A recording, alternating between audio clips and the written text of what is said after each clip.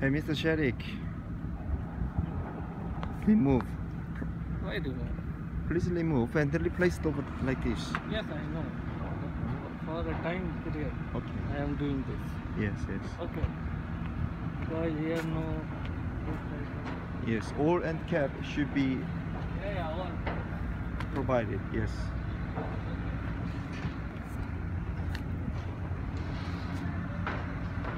이제 먼지나 이렇게 이물질이 배관 안에 들어가지 않기 위해서 저기 end cap을 꼭 막아야 됩니다. 이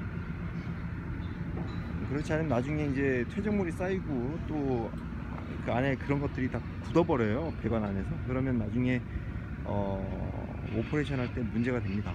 그렇기 때문에 단순히 언더그라운드 배관뿐만 아니라 모든 배관의 그 어, 오픈된 부분들은 어, 연결되기 전이나 아니면 뭐 어,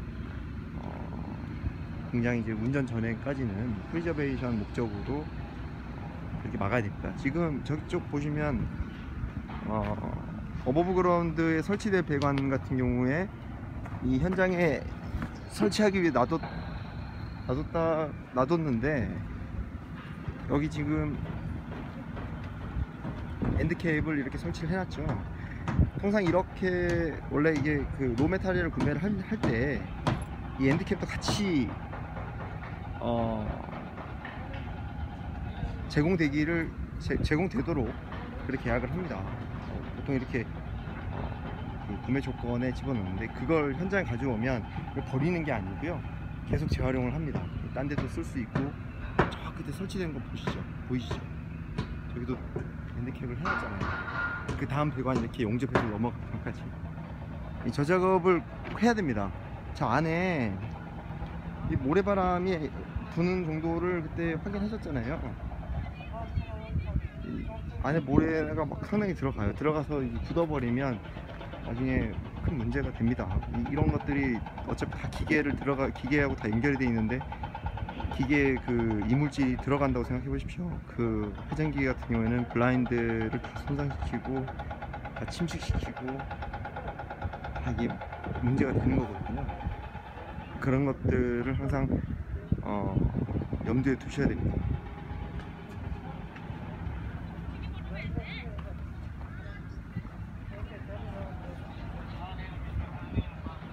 여기는 utility line의 끝점인데 여기 이제 어, safety shower 설비라든지 그런 것들 다 연결되어. 이 pipe rack 전반에 다 전체 공장 전체에 어, networking으로 연결이 되어 있는 거죠. I th- something Yes. interesting. Hmm? Okay, for your worker. There. This white, white guy. Who? This white guy. They are doing saving. 음흠. You can 아. 지금 이 친구가 저기 그 아, RTR 프리패브리케이션 하는데 어, 작업자들이 작업복을 이렇게 입고 있거든요. 그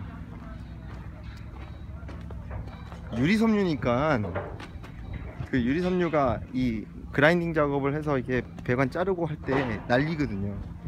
그런 그 날릴 때 그 몸에 해로우니까 마스크도 장착을 해야 되고 마스크도 껴야 되고 그냥 그 입자들이 피부에 노출되면 좋지 않습니다. 그 유리 섬유니까. 그래서 저 어, 저런 그 어, 옷을 입게 되어 있어요.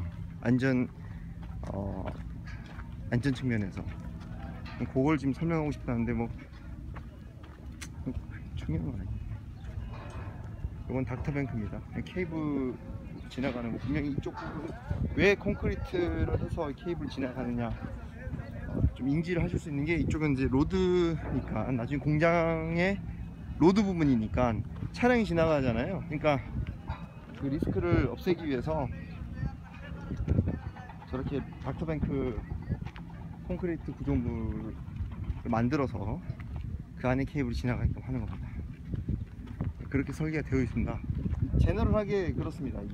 이 플랜트 어, 여타 공장도 다 그렇게 되어 있습니다.